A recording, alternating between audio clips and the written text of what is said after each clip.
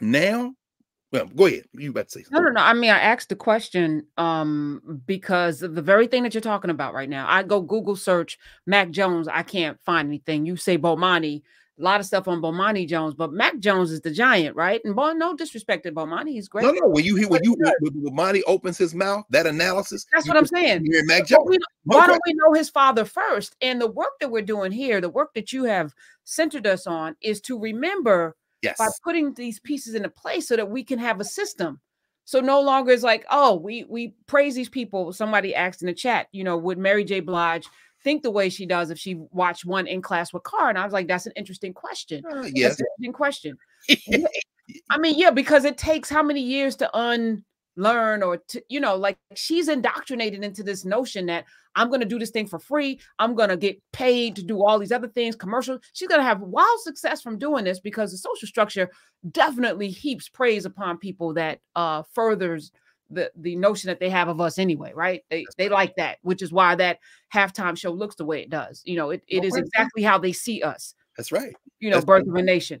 But you know, but as you're talking, they went to the slaves the Fourth of July. They that carried us off captive required of us a song. Shit, singing for white people has been going on since the boats pulled up. This ain't this ain't no this ain't no advancement, Jay. It's time to stop the kneeling. Shit you better need you better pray. Anyway, go ahead. I'm sorry. I'm sorry. I mean, and oh, more of that though, because you know we're in a space right now, and I'm like I ask this question every day: Can we blame the people who are so uh, miseducated that they don't know why it's a problem to have a you know no. a video about sit, sitting for two hours and being disrespected in Gucci. Like you don't know why it's a problem to go into Hermes to buy a bag and be mm. disrespected. Mm. You don't know why it's a problem to to perform in this. I don't think they know that it's a problem they think that they're doing something for their career, for their advancement, for black people. Even I think they think they think they're doing something for us. Well, that's interesting. You know, I mentioned, uh, you know, it's very interesting because remember, while Du Bois is at Atlanta University doing his work, there is, and we talked about this during office hours on Monday. Again, if you all are watching this on the YouTube side later, um, again, it's just a, a reminder that the work we're doing in Nubia isn't new work. Well, uh, let me say it, it isn't new work in the sense of the process reading thinking together everybody bringing themselves connecting what we're thinking through into collective thinking work with we can, which we can then take from that learning space that exchange that imbongi that collective and then use to apply to the institution building work that we're doing outside of that space everybody didn't have to do everything that's why i'm saying we're working through this question of how we can you learn from du bois so in that respect, it is not new. But here's the thing that makes it, I think, a little new. That's why I, paused. Souls of Black folk, Miseducation of the Negro, selected not only because of where we are in the calendar year, we're now into uh, Negro History Month, Black History Month, and but selected because we'd already, as you mentioned, loaded them into Knarrative. So with this, you know, you subscribe to Knarrative, you have these, including a kind of front conversation we had, and then you have the electronic version, so you don't have to go out and get another book. It's there. But the thing that makes it unique, I think, is I'm not aware of, certainly not pre-COVID, when the largest book clubs I'm aware of might be several hundred dealing with black books now and I see all the proliferation of these new kind of, you know, yeah, Noname is doing her reading circles, which I think is very important and remarkable, transformative. Uh, there's the well-read black girl platform, and of the sisters doing a lot of important work. I don't, I'm, I'm not aware of in all the years that I've been aware of, participated in, been part of study circles, you know, book discussion groups.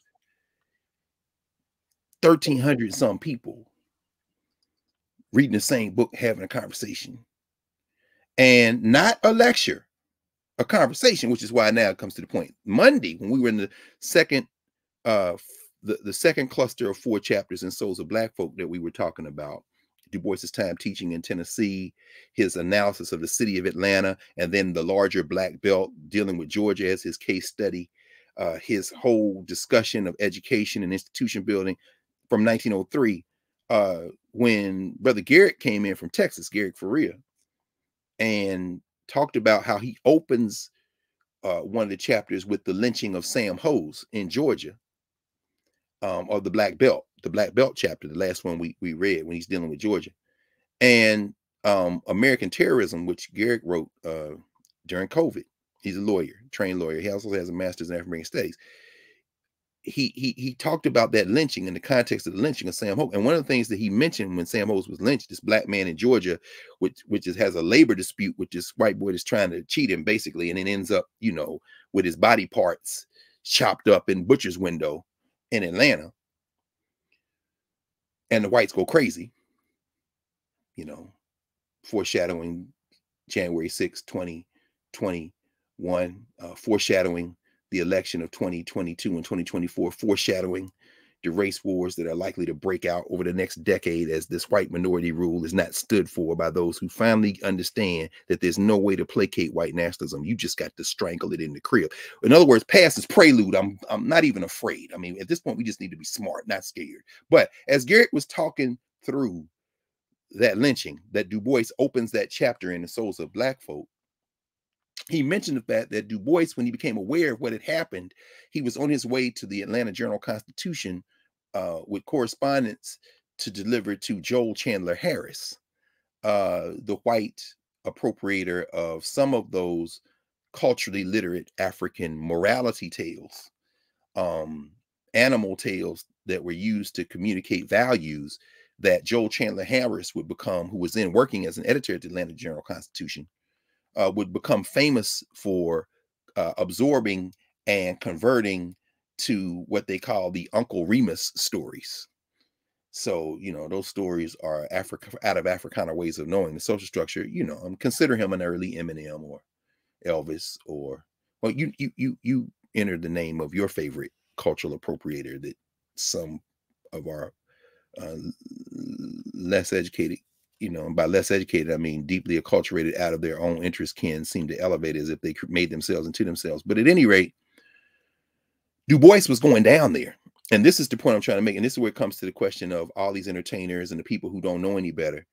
Du Bois said, until that moment of the Atlanta race riot, when I was working down here doing these Atlanta University studies, and they lynched Sam Hose and his knuckles and on display and with other body parts in this butcher shop. And I'm like, I thought the world was thinking wrong about race. I thought if we collected the data, if I sent these surveys out, some efforts of Negroes for their own social betterment to these like cities, black cities, Atlanta, uh, Bowling Green, Kentucky, Clarksville, Tennessee, Galveston, Texas, Mobile, Alabama, Petersburg, Virginia, DC, and got the data back. We generate a report. We share it with these black institutions and some white ones, and we start moving together that the attitudes would begin to change when people say, oh, okay, so we do, oh, I thought the world was thinking wrong about race. When after that ride, I thought to myself, yeah, no, this ain't really a question of misinformation. This is a question of propaganda. It ain't that they thinking wrong about race. They, they're gonna do that anyway. So I think even in terms of our our family who are going to be, you know, uh, you know, parading across the stage for white entertainment this weekend, I think. Um, I'm always vaguely unsure when the Super Bowl is because I try very hard not to see any scores, not to see who's in it. So I guess it's coming up because he's almost unavoidable now. They'll just, you know, it wouldn't change them.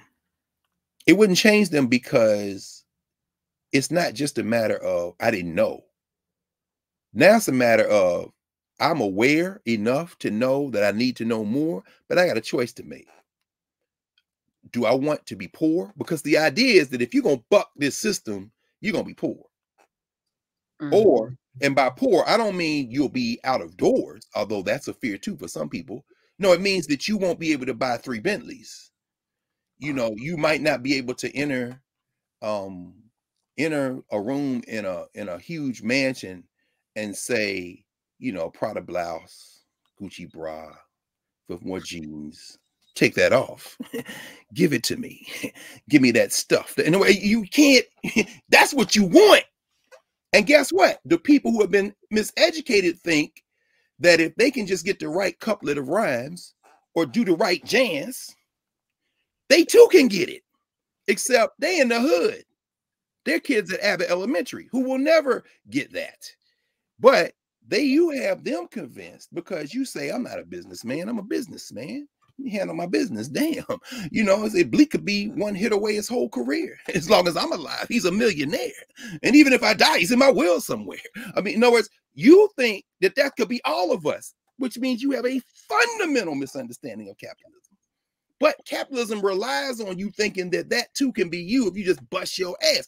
And so, even if you are introduced to data that refutes that, we have been socialized to believe, yeah, well, that is true of everybody but me.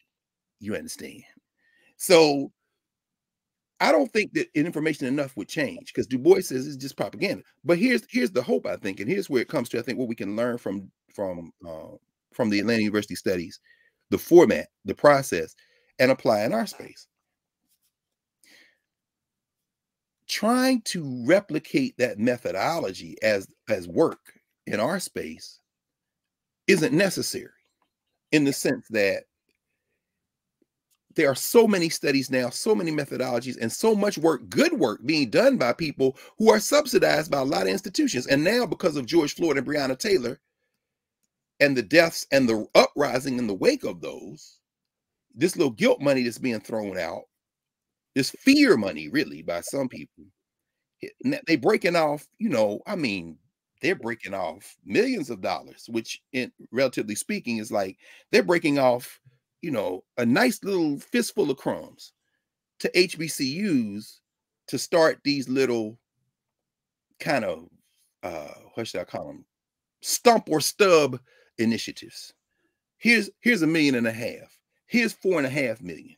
Here's six million to distribute among eight HBCs one of y'all taking the lead. And we're going to study housing. We're going to study wealth. We're going to study entrepreneurship. We're going to study.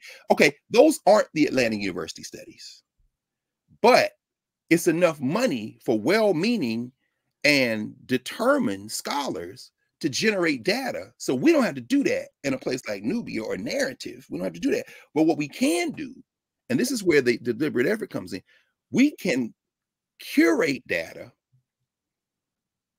think through it together, and then figure out how can this new insight be used to do two things.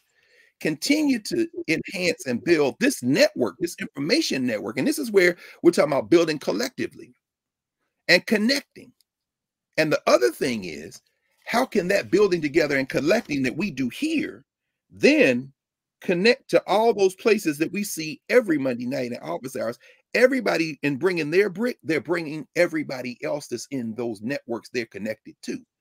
And so, and I'll, and I'll use a very specific example from yesterday. I was out because the world is opening back up in some ways and uh, had some um, colleagues in town from Philadelphia and they had asked me to meet them down at the National Museum of African American History and Culture to, you know, walk their students through from uh, Cabrini uh, University in Philly, and came down and said, you know, you know, would you meet us? And I have again, this has all been experimental experimental. It's been 100 weeks we've been doing this. When we started, as you say, can I press record as brilliantly last week? We did them four hours, which, you know, is a record we will not approach again. No, but, uh, but not, not because it wasn't great, but because, you know, that was, that was a unique moment, right? But in that process, over the arc of these last two years, we've been, you know, experimenting with how to build collectively, how to connect. Um, two years ago, when we were before COVID, we're entering in a minute the month of March, where this whole thing went that way, you know, the commutes were killing us differently. You know, the the students, if we're teachers, you know, you and I are teachers, and all of our teaching colleagues, it's a different kind of rhythm. And when they shut down the world on a dime, you know, my first thought was it's time to jailbreak it because it's not enough to be in these little places. And we've been able to do a lot of that. So yesterday I'm down there. So I'm gonna go, I'll go down, I'll meet y'all down there in the afternoon because one of the things I've been experimenting with, I had an interview yesterday with uh was it yesterday? Oh, we did a roundtable on the Supreme Court picks coming up. Because again, a lot of misinformation about that. So we did that. And then um I says I can go, I'm coming afternoon, met them down there and spent hours with them, you know, basically to the place closed, right? Going through things, you know, asking, answering questions, pointing out things in the museum. And I saw a couple from Virginia. Now, of course, we're masked up. So, but as I'm sure happens to you a lot, because there are millions who know you now, of course, over these last couple years, even more with the visual. But before that, even now, many, many, many, many more by your voice.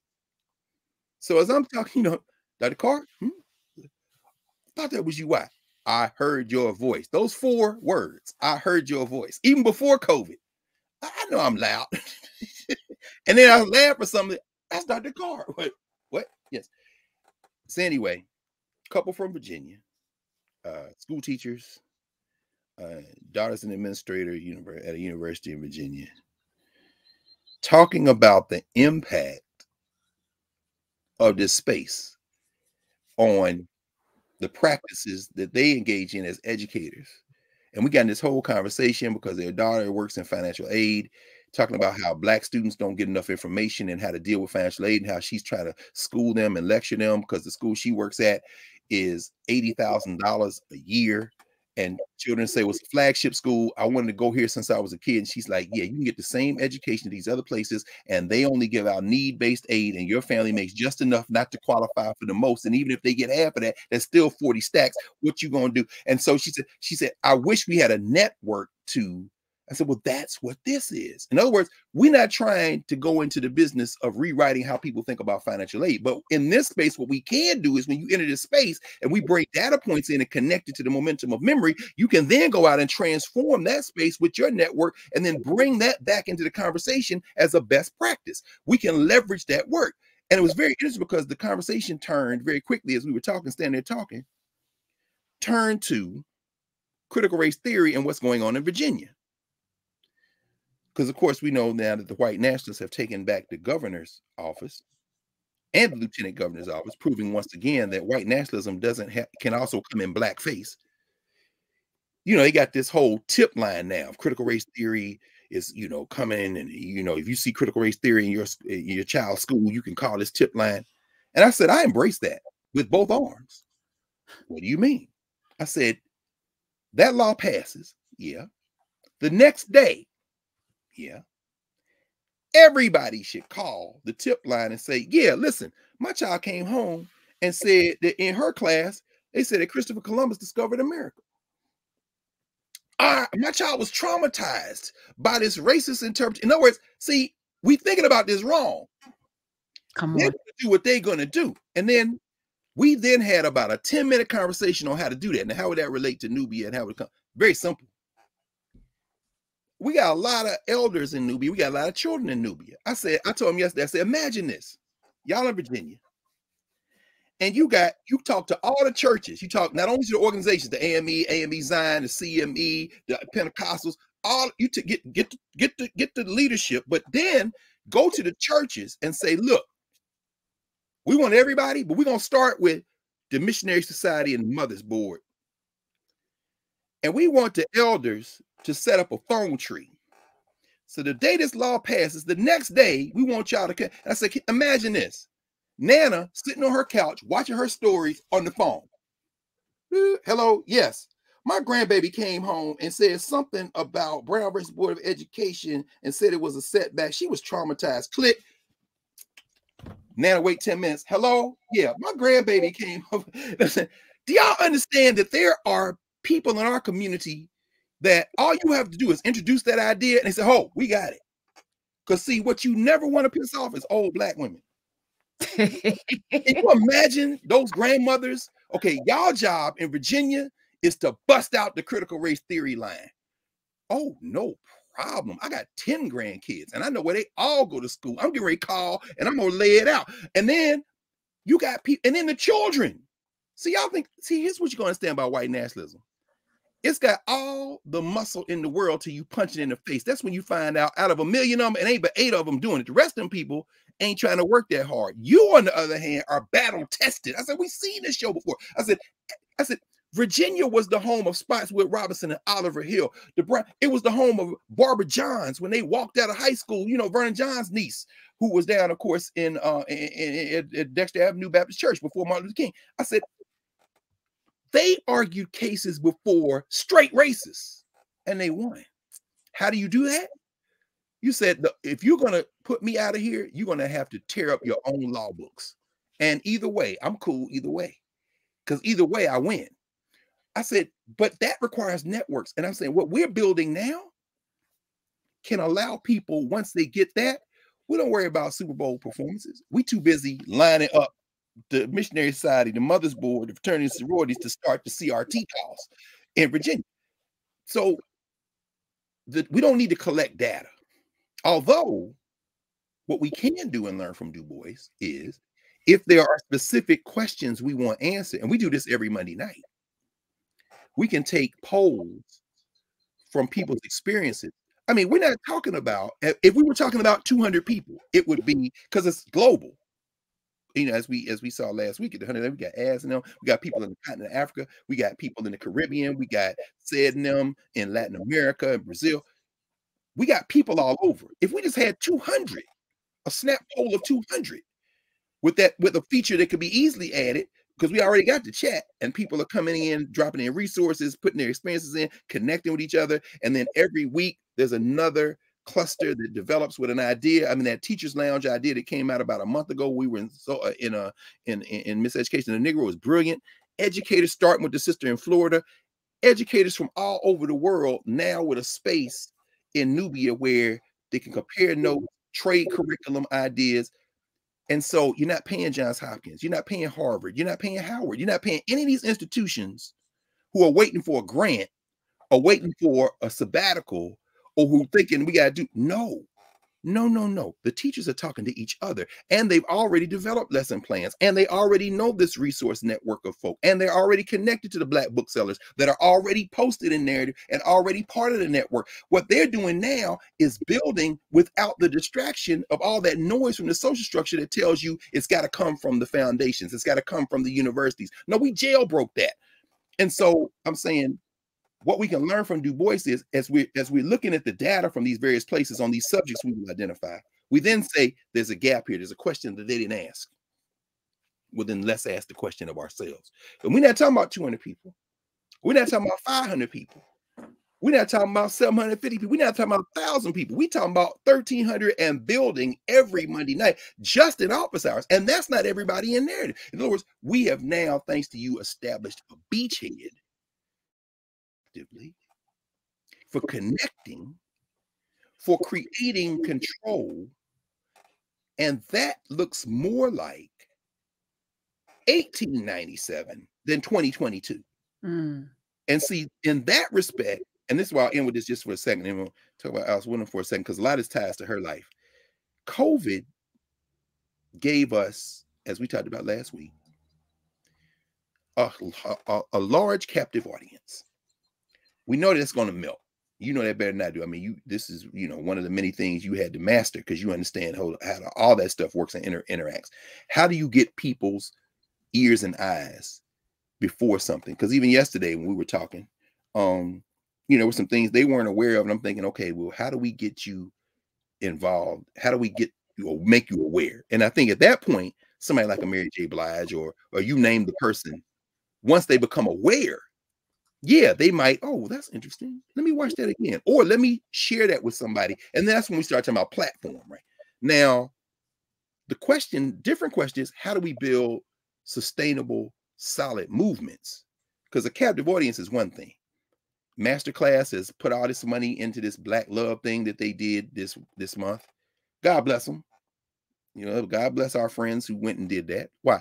That's platform right? I mean, we see, you know, we talked about Kamal Bell for a minute. God bless him. Why? That's platform. Now, you know, CNN got a bigger, larger reach. But the question is, does that translate into movements? No, it doesn't. It just translates into into eyeballs. Now, what you gonna do with it? Nothing. It's branding. It don't mean nothing. Now, how do we influence policy? Well, there are two tracks in policy. Policy influence comes from organization and putting pressure on folk. So when you say Oscars so white and a hashtag, and you combine that with a threat of a racial uprising, they may give out three more Oscars than they were going to give. We passed it. Cool. So this year they go back to what they was doing. Haven't done much. In fact, you really haven't done anything because it's still their statue. Now, the other element of influence that will require a deep shift, that's the hard work of organizing in a space that you control, that you own, that where you're building collectively, where you're connecting, and that has the that has the impact long range of changing behavior. I'll give you a very quick example. This is the last one I said in the last category. I'm coming to Alice Windom. Kwanzaa may seem like a small thing, but anytime you can walk into Walmart, Target, anytime you can walk into all these places, just like they selling Rosa Parks baby dolls. I say baby doll, Rosa Parks dolls at Mattel, and they selling Maya Angelou dolls, and they selling uh, you know Ida B. Wells dolls at Mattel. They're not doing that because they all of a sudden got pro-black or they hired three black people in a diversity unit. They doing that because they can read the numbers. And that shift, that black consciousness shift, has occurred over the last couple of generations in primary part because of the Black Power movement of the 60s. And even something like Kwanzaa, the organization that gave the world Kwanzaa, which is a remix of various Africana ways of knowing and cultural meaning making and movement and memory, and then a gloss that brings it into this moment useful that organization is tiny. What they did, however, was connect to people who weren't in the organization, but who were searching.